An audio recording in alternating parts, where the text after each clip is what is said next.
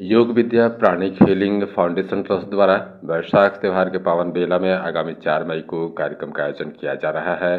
कार्यक्रम के सदस्य नेहा जैन व लता जैन पांड्या ने संयुक्त रूप से बताया कि इस शिविर में ध्यान सामान्य रूप से क्राउन चक्र को सक्रिय करने और हमारे सिस्टम में अधिक मात्रा में दिव्य ऊर्जा को नीचे लाने में मदद करता है, जो वैशाख के ठीक समय पर बहुत मज़बूत हो जाता है।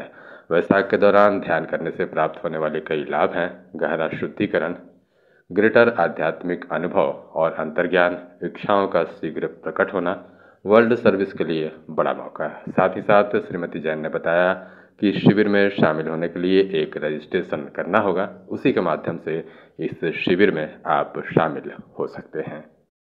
हजारीबाग डेस्क की रिपोर्ट। लेकिन मैं कोशिश करते हैं। मैं आपको फिर भी एक संक्षेप में बताती हूँ।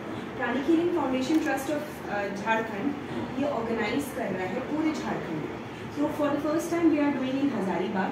This is a very precious prestigious कि ये अपने झारखंड में हजारीबाग में हो। रहा है एक इंटरनेशनल में होगा ये। तो इसमें क्या है कि बोलते